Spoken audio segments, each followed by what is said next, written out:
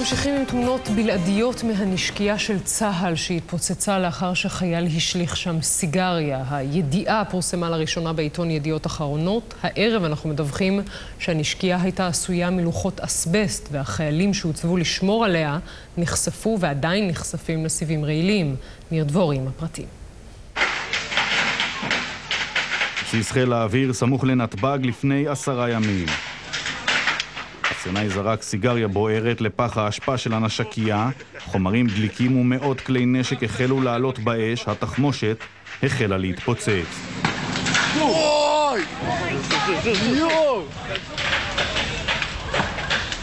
רק לדבר אחד, אף אחד לא שם לב.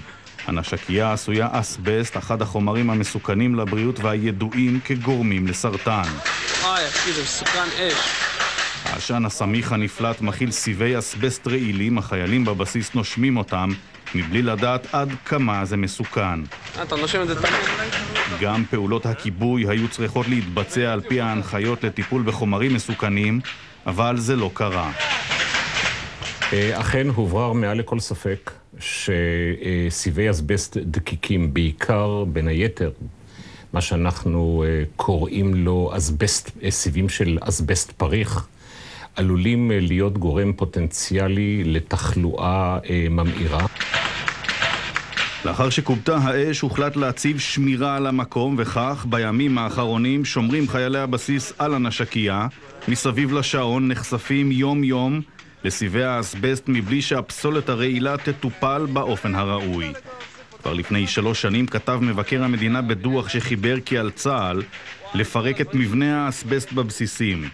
לפני חודשיים נחקק בכנסת חוק האסבסט, האוסר שימוש באסבסט במבני ציבור ומתקני תעשייה. מדי שנה מאבחנים בישראל עשרות חולים בסרטן כתוצאה מחשיפה לאסבסט. צה"ל החל לטפל בבעיה, אבל עיניכם הרואות עדיין לא השלים את העבודות, ובכך חושף את החיילים לסיכון בריאותי חמור ומיותר. בתגובה אומרים בדובר צה"ל שיומיים לאחר השרפה רוססו שרידי החומר כדי שיצמדו לקרקע.